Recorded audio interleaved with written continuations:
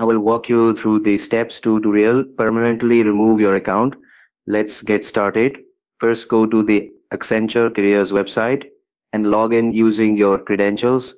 Once logged in, go to your account settings. Depending on the platform's layout, look for options like privacy settings, account settings or data management. Accenture may not have a direct delete account button. So if you can't find it, don't worry. There's another way.